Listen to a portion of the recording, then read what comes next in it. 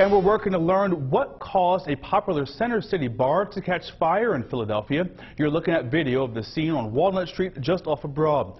Fire crews worked to tame flames at the Level Up Bar and Lounge around midnight. Thankfully, though, no one was injured.